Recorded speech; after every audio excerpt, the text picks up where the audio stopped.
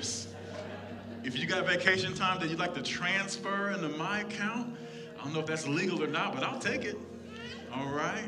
Let's pray as we go into God's word this morning. Father, we thank you for everyone that is gathered here today. They are loved by you. Everyone that can hear my voice right now, you died for. You love them. And we declare now in Jesus' name that Satan's plan to destroy them ends today, right now. That no weapon formed against these people will prosper. I thank you, God, that you, you even protect them from themselves that carnal, sinful nature that tries to rise back inside of them, God, we pronounce it dead right now in Jesus' name. And we declare that these people live by your spirit, God. That they're, they're in love with you because you are in love with them. And they're done with the things of the world, God. They have separated themselves as holy people, God, sanctified people, lovers of God, and not lovers of this world world. I thank you that they overcome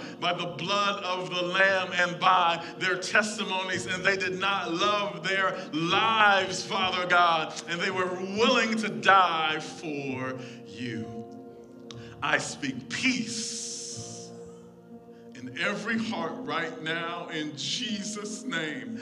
I speak peace to depression now in the name of Jesus Christ. I speak peace to those who are being afflicted by demonic spirits in the name of Jesus Christ. Satan, we take authority over you right now in the name of Jesus Christ, and I command you to loose them and let them go. May every ear open right now that you might hear what the Spirit of the Lord is saying to the church today. May every broken heart and heavy heart be healed right now in Jesus' name. Those who suffered abuse as children who still carry those scars and wounds, may they be set free right now in the name of Jesus Christ. Those who have suffered the loss of a loved one and still carry grief in their hearts, God, Lord, don't let them grieve too long long, for there's a season of grieving. But Lord, you, you said that we don't grieve as the world grieves, as those who have no hope.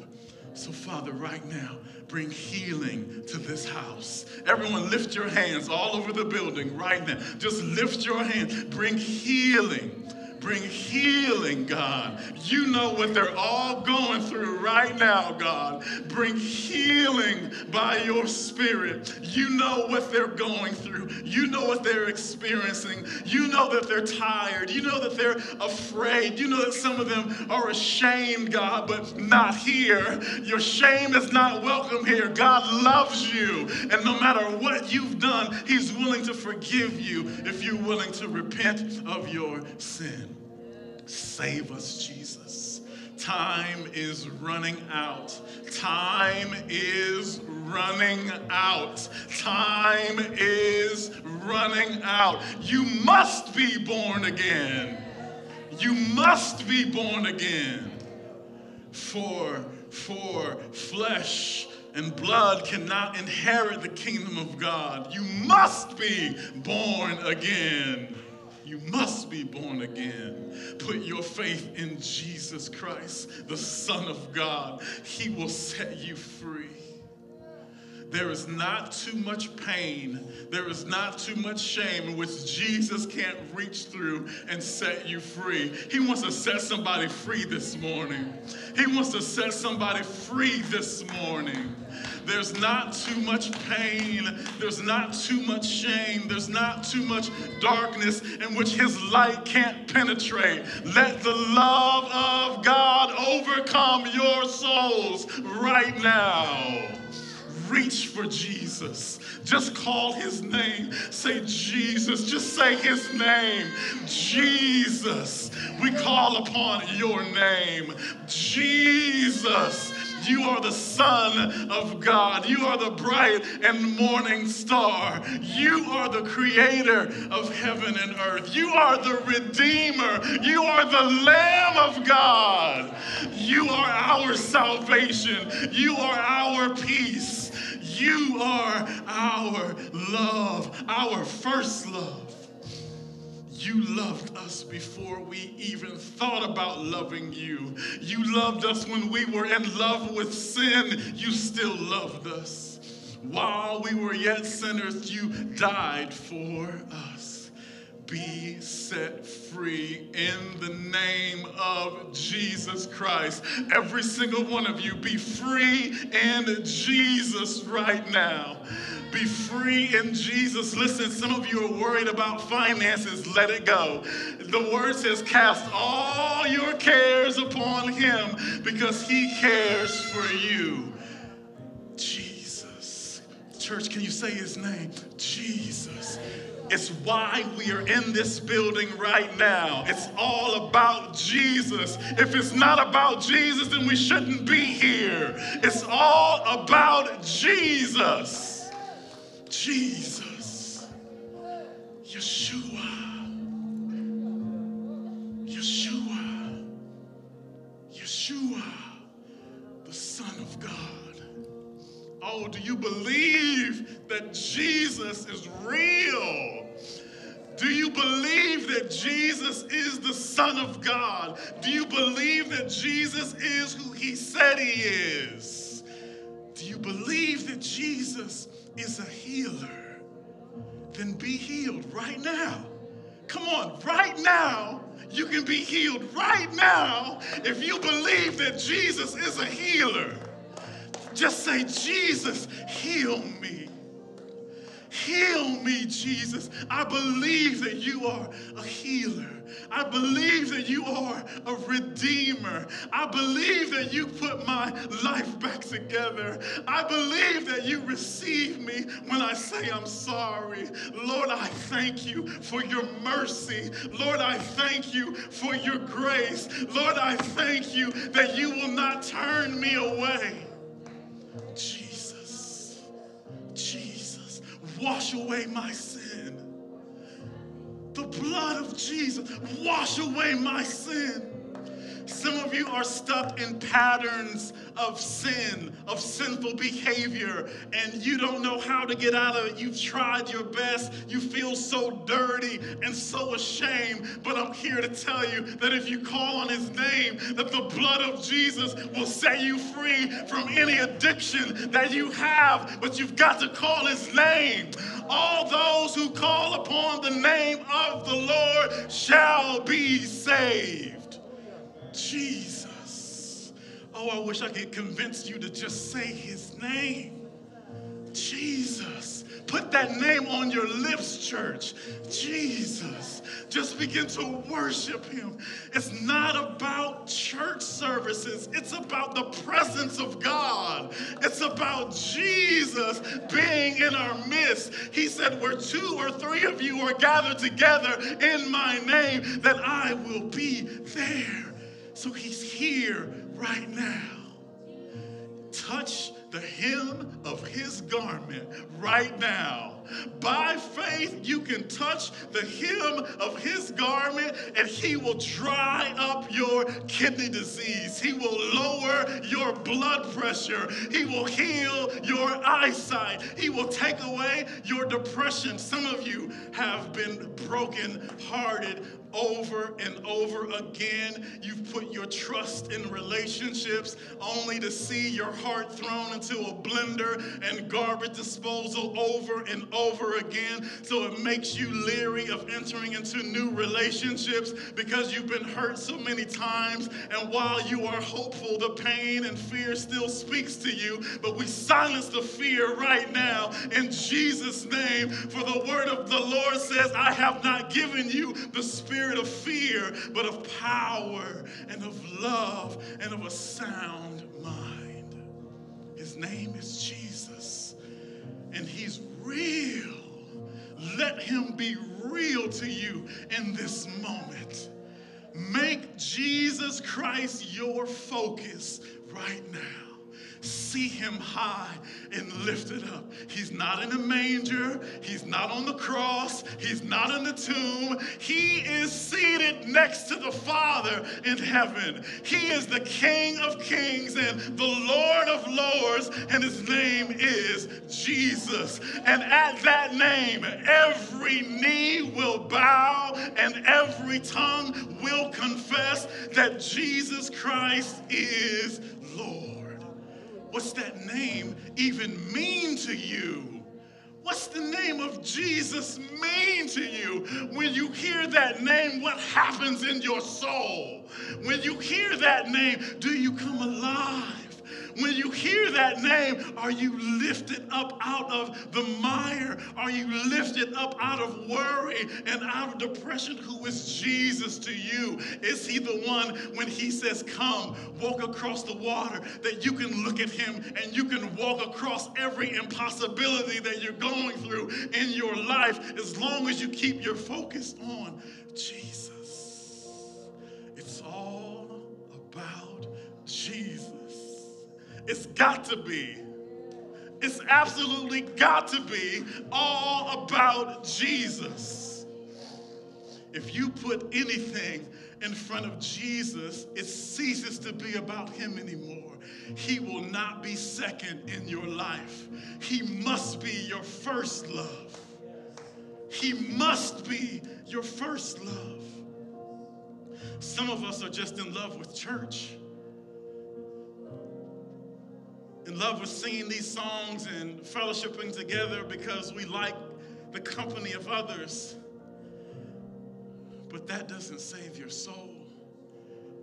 Your salvation is in Jesus alone. Jesus. Jesus.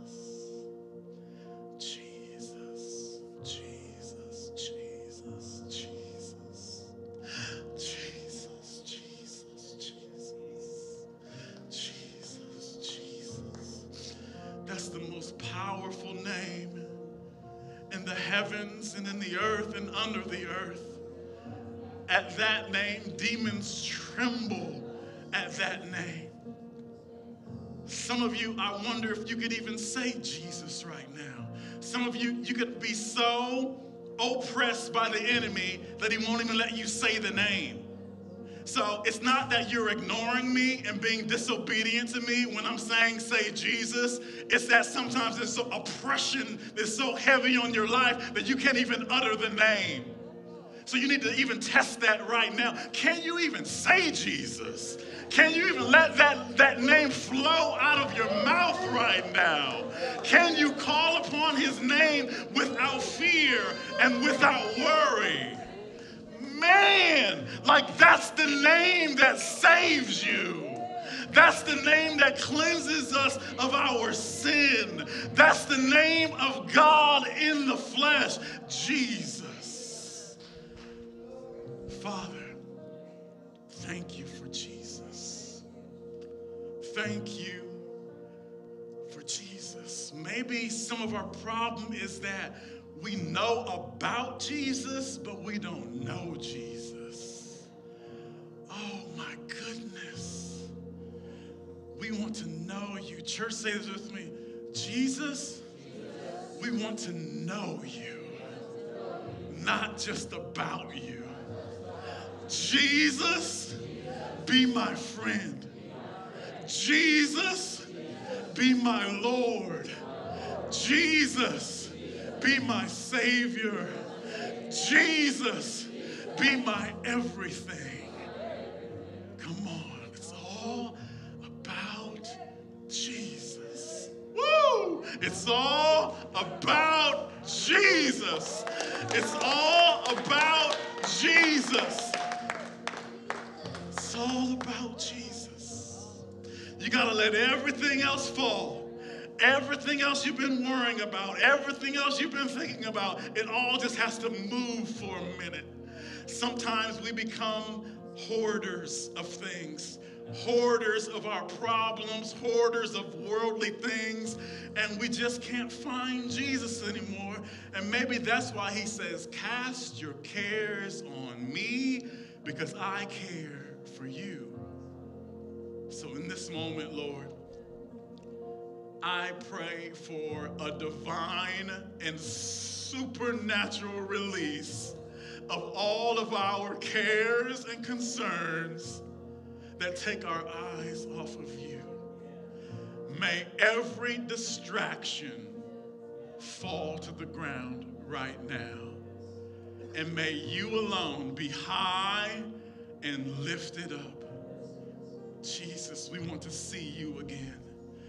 We're tired of worrying about money. We're tired of worrying about politics, the economy, race relations, family issues, diseases.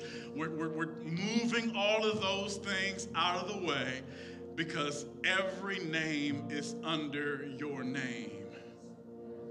And we're raising Jesus back to his rightful place. Forgive us for our idols. Forgive us for spending more time in our phone than in your presence. Forgive us for gossiping. Forgive us for our hunger for the things of this world, to where we consume so much of it that our appetite for godly things is so small. Your word says man cannot live by bread alone, but by every word that proceeds from the mouth of God. So, Father, as we go into your word right now, we desire to eat of you. We desire for life to come into our being. I ask that you move me out of your way, God. I present myself as a living sacrifice to you to be a vessel that feeds your sheep. And may faith come by the hearing of this word.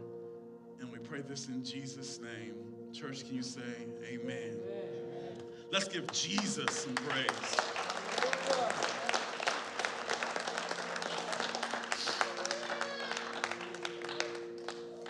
Praise God. Mother Fields, I had a dream about you. Yesterday morning, I woke up. Can you just stand, please? Yesterday morning, I woke up and I was praying over you, and I was praying in the Spirit. And I know God was doing something for you, so I know He has something for you today. So, can you just lift your hands right where you are? Church, just begin to pray for Mother Fields right now. Father, in the name of Jesus Christ, I speak life and strength over her right now in Jesus' name. I speak to the pain in that body and command it to leave right now in the name of Jesus. Lord, fill her with your strength, fill her with your peace, fill her with your purpose. Father, I thank you that the enemy tried to leave her for dead but Lord, you were there because your her life is hidden in you. So Jesus, we just speak the fullness of every blessing in your word over her right now. And whatever was supposed to be released in that dream, may it be released under her right now. In Jesus' name, amen. Praise the Lord. All right, let's get into the word. So excited to be in a new series. Um, and this one is entitled Jesus Beings, because that's who we are and what we are. Now, I know that we are human beings, Homo sapiens, those that walk upright. No, we did not come from monkeys. If you want to say that you're related to a monkey, that's on you.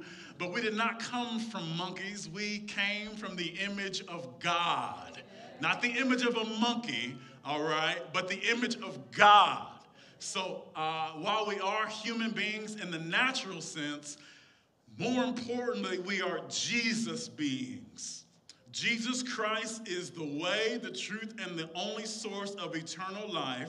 It's in Him we live and we move and have our being. So the word Christian has become really watered down. Like anybody can be a, a, a, say that they are a Christian now. Even those who live lifestyles outside of biblical truth and principles can claim that they are Christians. But not everybody is a Jesus being. A Jesus being is those of us who are born again and we have received new life in Jesus Christ. For the word says, uh, let's go to Acts chapter 17, verses 22 through 34.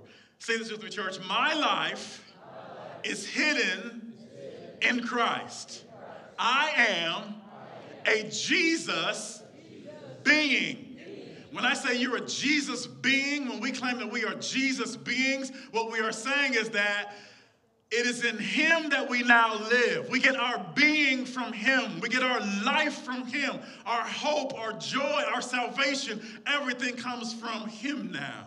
So we no longer live until ourselves, until our sinful natures. We have a new nature in Christ. We are Jesus beings, and we can shake up the world when we understand that. We're going to Acts chapter 17, verses 22 through 34, and it says this. So, well, first of all, hello. Nice to meet you all. Nice to meet you. Congratulations. All right. Any first time visitors here? Your first time here in the building? Any first time? God bless you, brother. Good to see you. Frankie, welcome again for the first time. Did I miss some? Oh, hello. What is your name? Heather? Heather, welcome.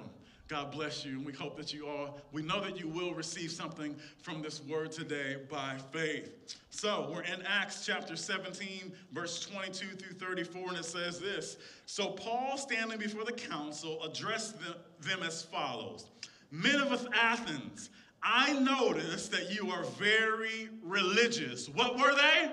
Religious. Very religious. And that can be our problem in America today that we are very religious. But there's more to God than just being religious. Religion does not get you into heaven. Salvation through Jesus Christ gets you into heaven. Being recreated after the image of Jesus, being a Jesus being. I feel like I'm going to preach myself happy today. And if you don't want to get happy, I'll take yours and your vacation time. Jesus being, come on now, my life source. He has become our life source now. Like, it's not about Damien and what he can provide and do anymore. The limitations of the flesh have been broken off, and we have become Jesus beings. He is our source of strength. Even when we are weak, we can declare that we are strong. Why? Because we have our being in Jesus now. I'm not limited to the DNA of Edward and Shirley Tibbs anymore. I've got a divine identity in Jesus Christ. I am now a Jesus being. He is my source of strength, my source of joy, my source of peace. Even when the doctors can't figure it out, some of you have had encounters with death, but because your being is in Jesus, you're alive now. You don't know how many times the doctors have stood over people and scratched their heads and say, We don't know what to do. And Jesus is just move out of my way. This one is mine. All right? Jesus beings. So we're not just religious people. The religion has torn this world up. 7,000 denominations, 600 churches, and all supposed to represent just one man, Jesus Christ. So religion can get us in trouble. He said, Men of Athens, I notice that you are very religious in every way. For as I was walking along, I saw your many shrines, and one of your altars had this inscription on it to an unknown God. This God whom you worship without knowing, remember I said some of us know about Jesus but don't know Jesus? Come on, you got to leave that category of knowing about Jesus and you better have a personal relationship with Jesus, okay? This God whom you worship without knowing is the one I'm telling you about. Verse 24. Now he opens up a resume and begins to tell them about God. Listen to what he said. He is the God who made the world and everything in it. Since he is Lord of heaven and earth, he doesn't live in man made temples. And human hands can't serve his needs, for he has no needs. He himself gives life and breath to everything, and he satisfies every need. From one man, he created all the nations throughout the whole earth. He decided beforehand when they should rise and fall, and he determined their boundaries. His purpose was for the nations to seek after God and perhaps feel their way toward him and find him, though he is not far from any one of us. Church, say this with me. He is not far, is not far. from me. Verse 28, listen to this. This is what the whole series is built on. For in him we live and move. The New Living Translation says exist, but the King James Version says have our being. Church, say this with me by faith. It is in him that I live, I move, and I have my being. The name of this series is Jesus beings, right? So we're gonna, hallelujah, we're gonna disconnect ourselves from everything that's been trying to give us identity. You need to d- disconnect yourself from being super Republican, super Democrat, super white, super black, super this, super that, and say, you know what? No, it's just in Jesus that I live and move and have my being. It's in Him alone. Because being a great political person will not save you. Being ultra this or ultra that will not save you. There's only one that can save us, and his name is Jesus, and it's from him comes our being.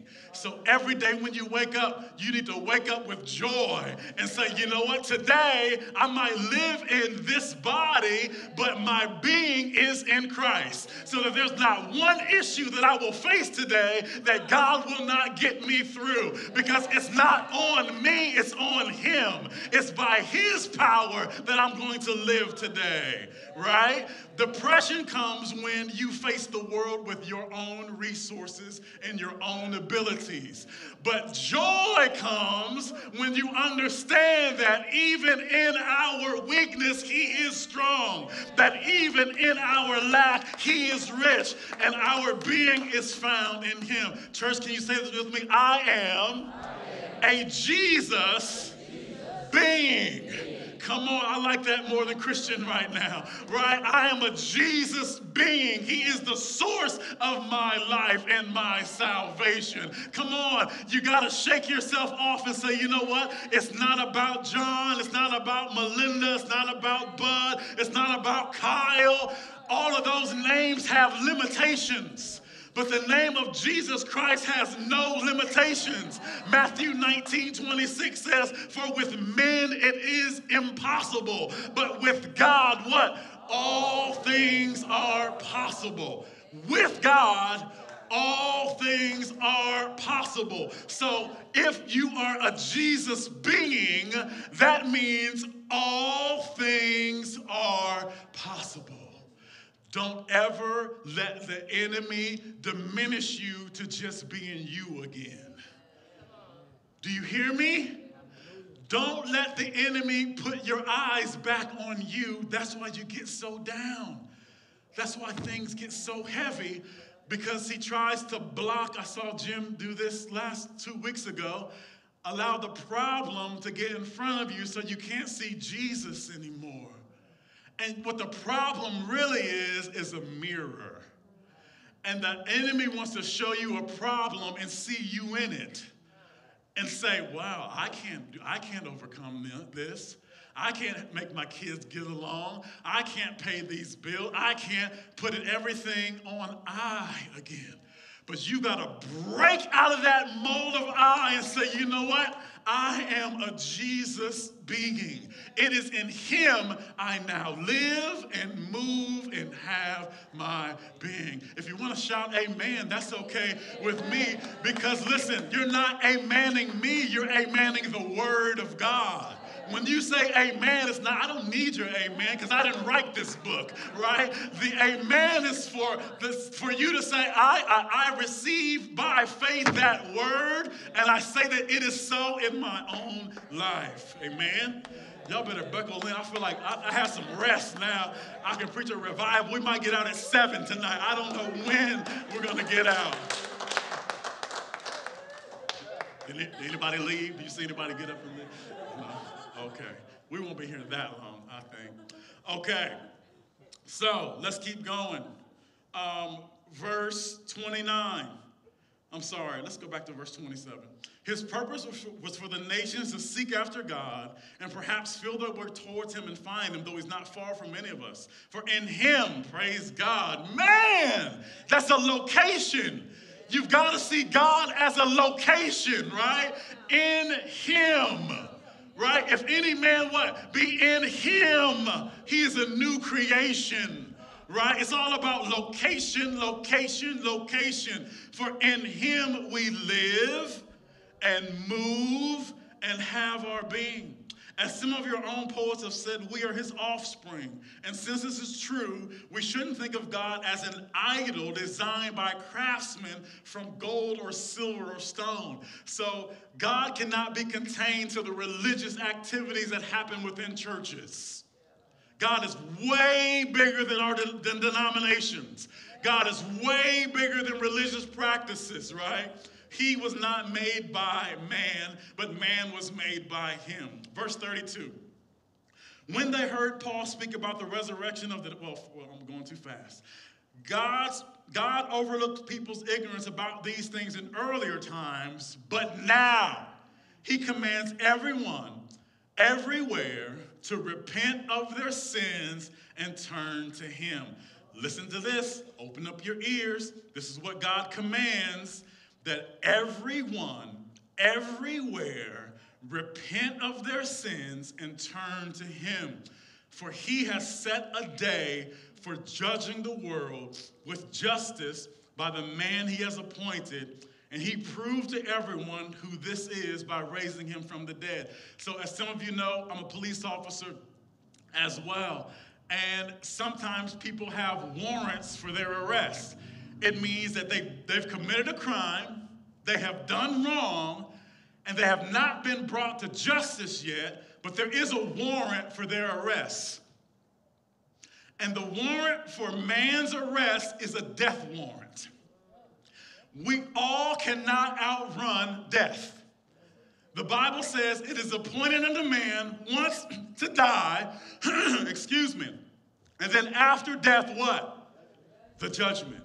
So while we are alive, we may hide in sin and we may run in sin and live in sin and refuse to repent, but there's a warrant for our arrest called death.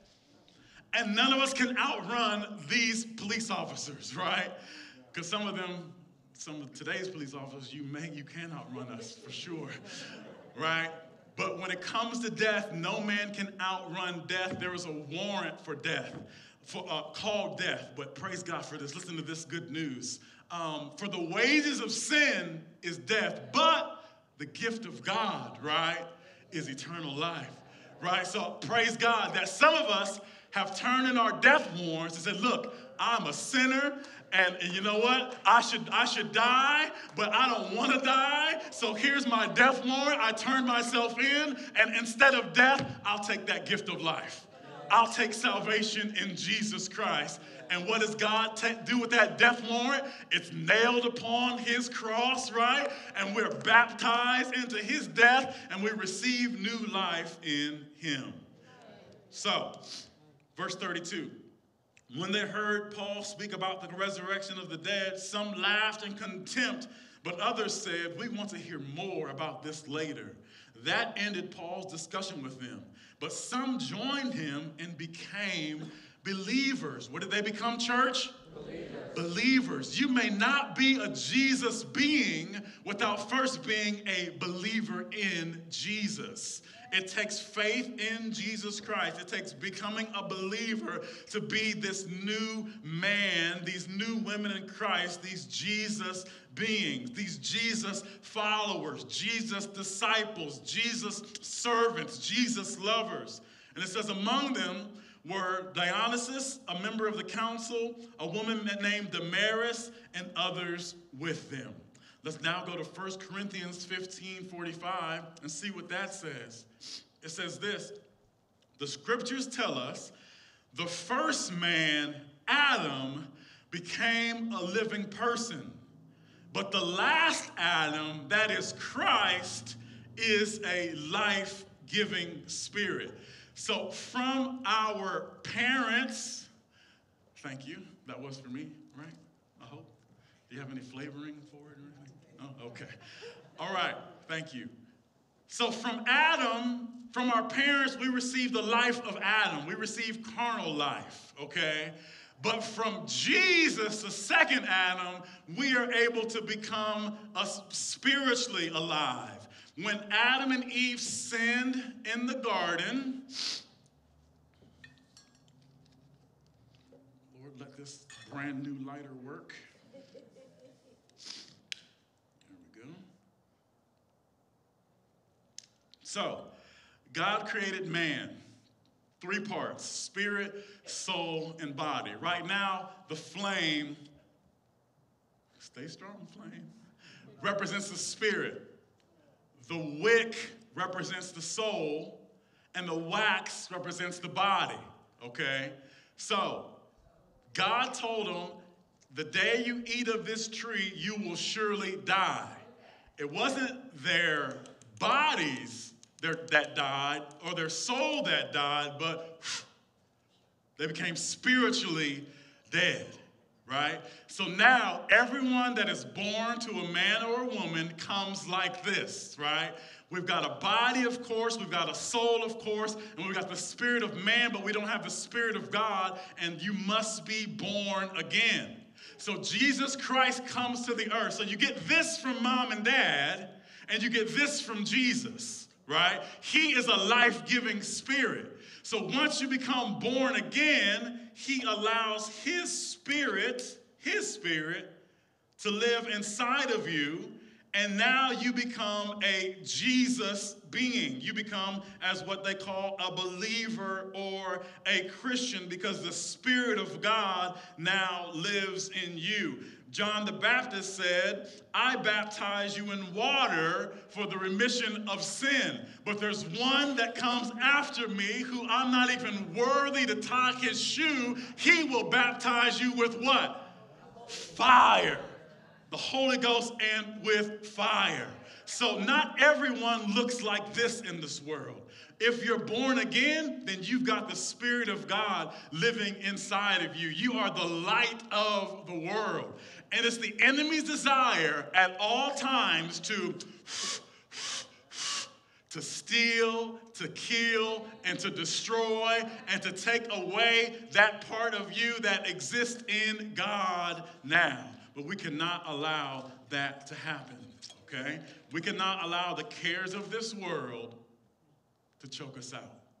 We have to keep Jesus Christ as our life source. He is, He has given us of His spirit, of His life. So to be born of man is to have a body and a soul and a spirit that can be lit, that can receive life, but to be born of God is to have His spirit living within us as well. All right, let's go to Colossians. I'm going to try to get through as much as the book of Colossians as possible, and then we will dismiss. Father, I pray now in Jesus' name that your Holy Spirit give us understanding of these words that your servant wrote, that they might speak life into us. We need to hear and know the truth, for the truth makes us free. So, Father, I pray that every ear would be open right now, and Lord, that you would give me a spirit of wisdom and knowledge and understanding to be able to feed your sheep from this word. In Jesus' name, amen. All right, so we are Jesus beings, and the book of Colossians is a great foundation. Uh, and, and it speaks of fellowship, and it also speaks of our function as these new creations in Christ. Colossians chapter 1, beginning in verse 1. It says this This letter is from Paul. Who's it from? Paul. Paul, chosen by the will of God to be Church, can you say to be? So, as Jesus beings, you were chosen to be, right? Come on. You were chosen to be something in Christ.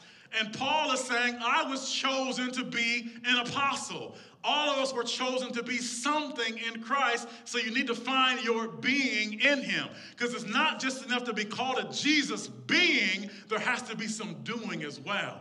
But our problem sometimes is we try to put the doing in front of the being and we fail miserably. We try to do spiritual things without first being spiritual. We have to have God's nature in order to perform the things in which God has called us into. Otherwise, it's just empty religion. Absent of the flame, absent of the Spirit, absent of God. So if any of you struggle profusely with your walk with Christ, it's probably because you're putting the doing in front of the being.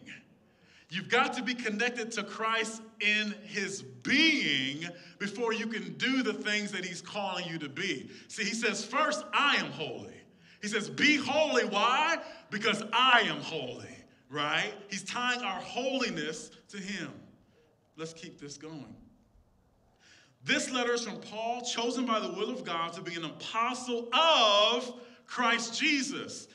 To be apostle of Christ Jesus, it means that I am connected to, he's connected to, and from. He's of. So he's a Jesus being. And from our brother Timothy. We are writing to God's holy people in the city of Colossus who are faithful brothers and sisters in Christ. So he's writing to these new Jesus beings to tell them about this wonderful relationship and this new divine authority and identity that they have. It says, May God our Father give you grace and peace. So, Father, we thank you this morning for both grace and peace. Verse 3 says this So, as you hear what Paul begin and Timothy begin to write and what they say, they're, they're letting you know that their doing comes from their being. And as you read the Bible, you must understand that it is a, a guideline and an instructional book for your spiritual living. So he says, We always pray for you, and we give thanks to God, the Father of our Lord Jesus Christ for we have heard of your faith in Christ Jesus and your love for all of God's people. So when people hear about you as believers in Christ, they should know about your great faith. Not just your political party, not just what your beliefs are, but they should know about your faith in Christ and the love that you have for God's people which come from your confident hope of what God has reserved for you in heaven. Say this with me God has reserved for me something in heaven, and I'm hoping for it. All right, come on, let's start getting excited. Like, let that hope start stirring up that this isn't it, baby, right? Like, everything that you see, this isn't it. That we've got a home in heaven with God, and you're supposed to have a living hope that's bubbling up inside of you every day. And that's why it's easy to lay your life down because you know that you're going to have to lay it down anyway.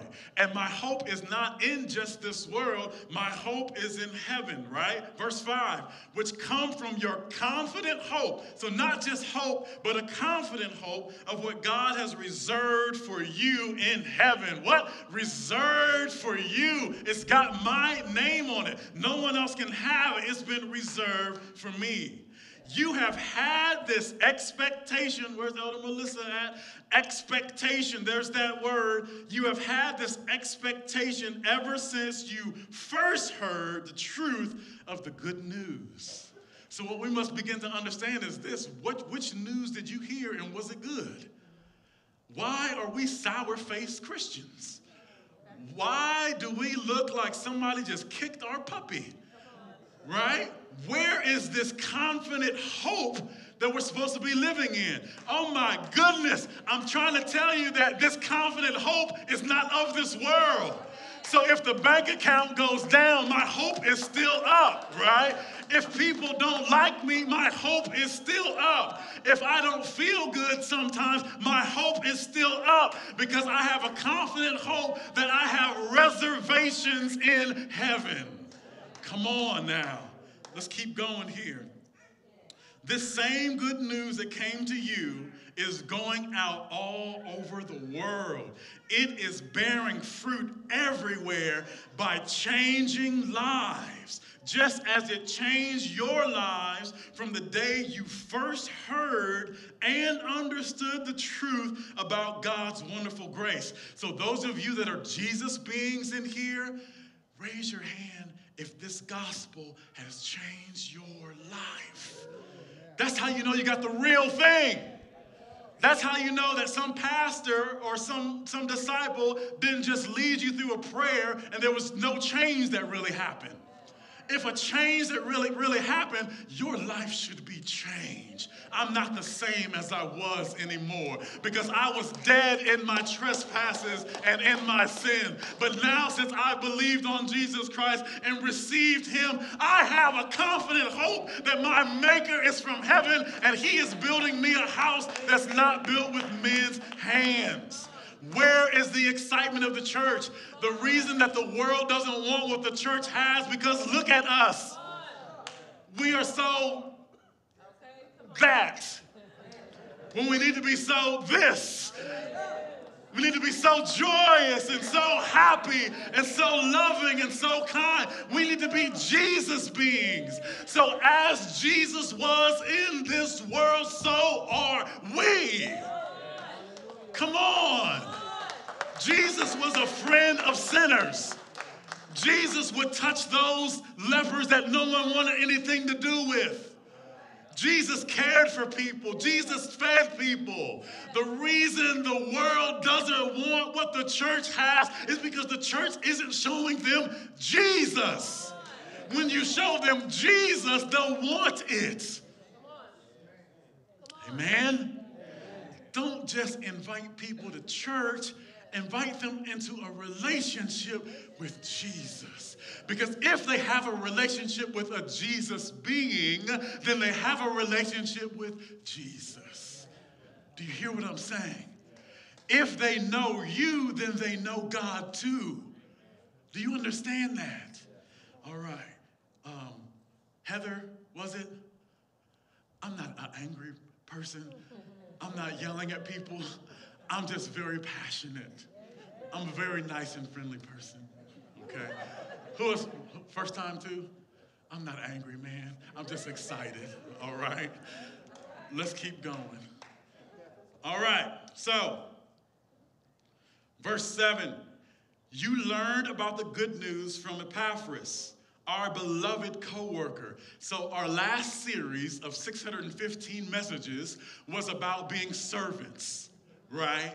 And right here we see that people come to know Jesus Christ through servants. That's what he says right here, right? You learned about the good news from Epaphras. So if you're a Christian, a, a, a Jesus, a Jesus being, then part of your doing is sharing the good news, right? You've got to be sharing the good news about Jesus. We tell people about everything else. We tell them about restaurants, we tell them about coupons, we tell them about sales, but we must be willing to tell them about Jesus. All right, verse 8. He has told us about the love for others that the Holy Spirit has given you. Oh, wait a minute.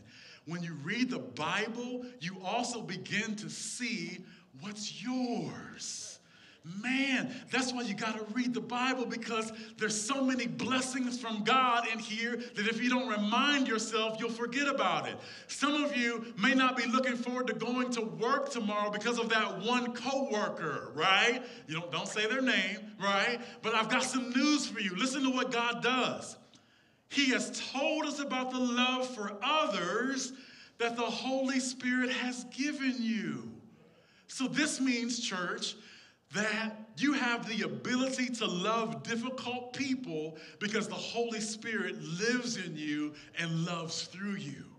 So take the weight off self. The reason you're not getting along with people is because you're trying to do it yourself. You've got to say, okay, I have the Holy Spirit living inside of me, and He has gifted me with God's love, and that's what I'm going to be sharing with the world today.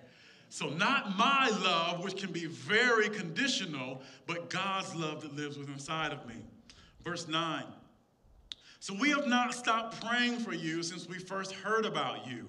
We ask God to give you, say this with me, church, I have, I have complete, knowledge complete knowledge of His will, of his will spiritual, wisdom, spiritual wisdom, and understanding. and understanding. All right, yes, you do.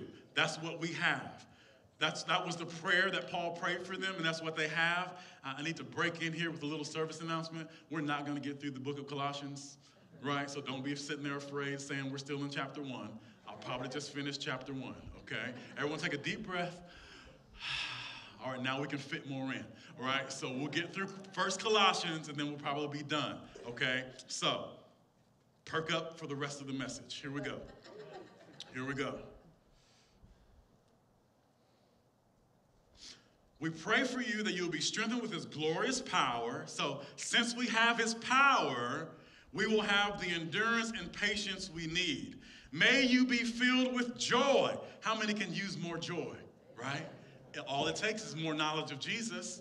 The more knowledge of Jesus that you have, that you're a Jesus being, the more joy that you have. Verse 12, always thanking the Father. He has enabled you. Man, this is such good news.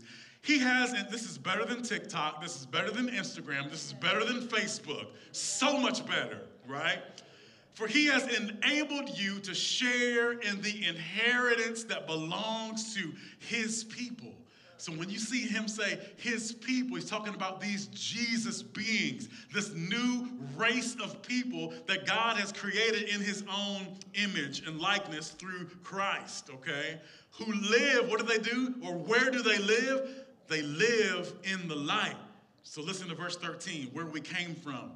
For he has rescued us from the kingdom of darkness and transferred us into the kingdom of his dear son. We live in a new kingdom right? And we live in the kingdom of a person, the kingdom of God, who purchased our freedom and forgave our sins. Verse 15 talks about Christ being supreme as we wrap this up. Christ is the visible image of the invisible God. He existed before anything was created and is supreme over all creation. We're talking about Christ right now, right? So if we are Jesus beings, we need to know the foundation of our being. Who is this Jesus, okay? For through him, God created everything in the heavenly realms and on earth.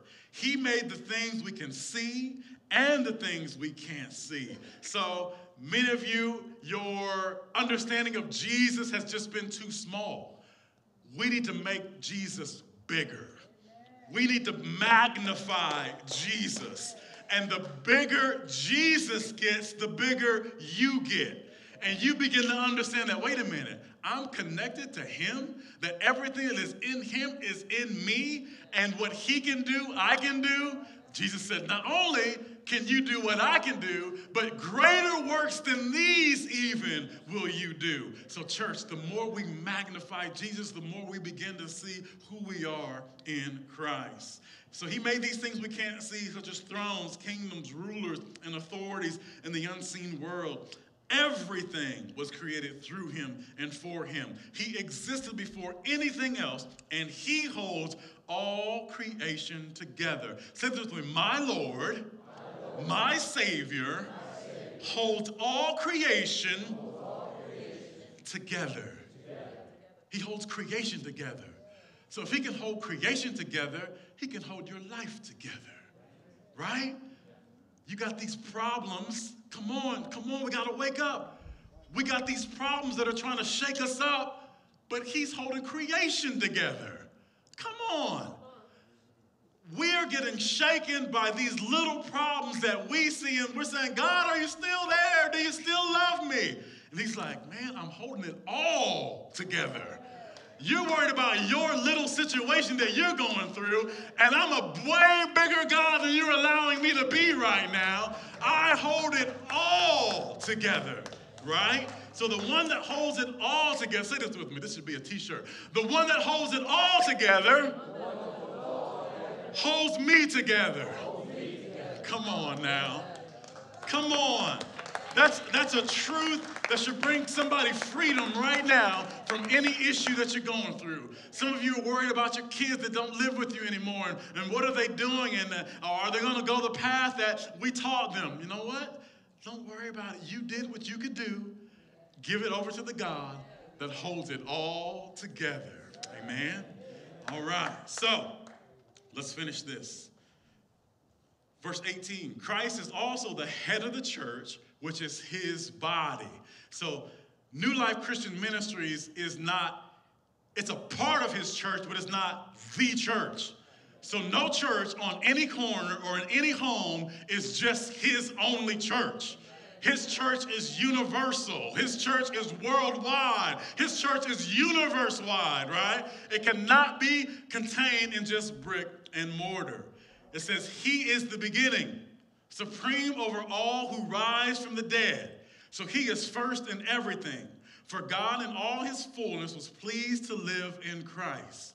For God in all His fullness was pleased to live in Christ.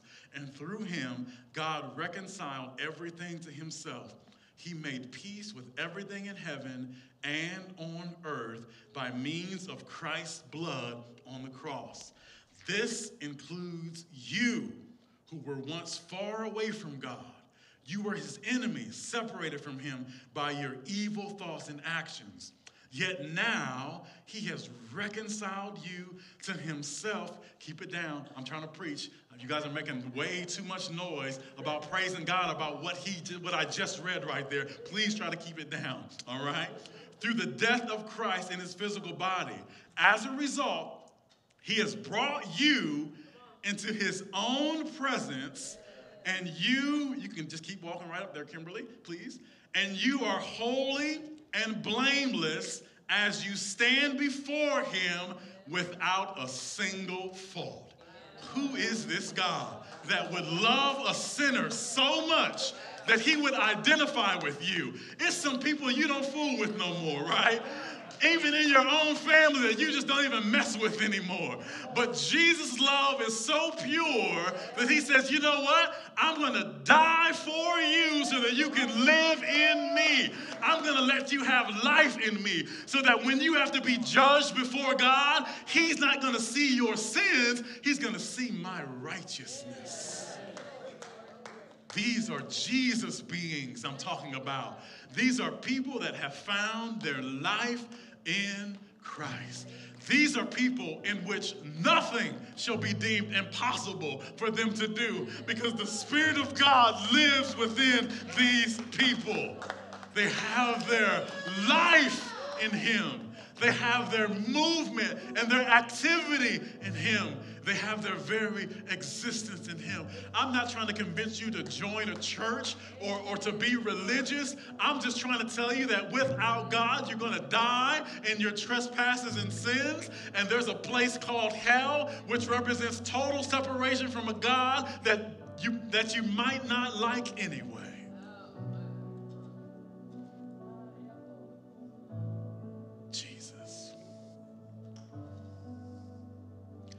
But you must continue to believe this truth and stand firmly in it. Don't drift away from the assurance you received when you heard the good news. The good news has been preached all over the world, and I, Paul, have been appointed as God's servant to proclaim it. Say this with me I have been appointed as God's servant to proclaim it. Come on, you have to be tellers of the good news. Our last verse is here. I am glad when I suffer for you in my body, for, my, for I am participating in the sufferings of Christ that continue for his body, the church. So, church, we're going to go through some suffering. We are. Verse 25 God has given me the responsibility of serving his church by proclaiming his entire message to you. This message was kept secret for centuries and generations past, but now it has been revealed to God's people. For God wanted them to know. Say this with me God wanted me to know that the riches and glory of Christ are for you Gentiles too. And this is the secret. You ready? Christ beings, Jesus beings, you ready for the secret? Christ lives in you. This gives you assurance of sharing his glory. So we tell others about Christ, warning everyone and teaching everyone with all the wisdom God has given us. We want to present them to God perfect in their relationship to Christ. That's why I work and struggle so hard, depending on Christ's mighty power that works within me. Church, can you say amen? amen? So listen, that's not some secret book I'm reading from. That's the Bible, and you all should own one. And if you don't own one, see us after church. Sopo, can you raise your hand back there, please? If you don't own a Bible, see her and she will get you a Bible. I read to you from the book of Colossians, chapter 1. Wasn't that delicious? That was so good because it's true. The Word of God is true. Let's stand to our feet. We're going to open the doors of heaven to the Father, and that's only through Jesus Christ. So if you're here today, and you do not have a personal relationship with Jesus Christ, you are not born again. You are simply flesh and bones and soul, and you need your spirit to be set on fire for God. If you've been living in sin and you don't know without a shadow of a doubt that if today was your last day, that you'd see God's face in peace, you don't have to leave here without knowing that for sure. Today could be the day where you say, you know what? I came in as a sinful being. I came in here as a sinful woman or a sinful man or sinful boy or a sinful girl. But I'm not going to leave that way. I have heard the good news that Christ died for me, and He wants me to be a Jesus being. He wants me to come to Him and have life and hope. He wants me to have forgiveness of sins. And if this Jesus is willing to take away all my sin, I'm willing to give them to him so I can have this death warrant ripped up and receive the gift of life. So, Holy Spirit, if there's anyone in here today that you're drawing into salvation, may they freely come forward without reservation and without fear. May they walk into this new life that you have given us in Jesus Christ. So, if that's you today, you want to give your life to Jesus, don't be ashamed. Just walk down to this altar and we're going to pray for you, and you're going to become a Jesus being, a Jesus follower. You don't have to die in your sin. But what, what I want you to do right now is just, you can just say, Lord, save me. Right where you are. Lord, save me. Lord, break Satan's power off of me. I don't want to live in sin anymore. I want to be set free. Jesus, will you save me?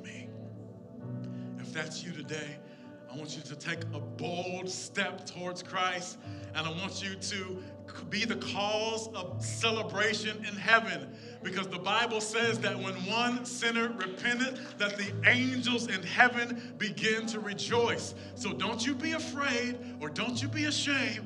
This is a cause for great joy for you to say, "You know what? I want to be saved. I want to give my heart to Jesus. I don't want to be lost."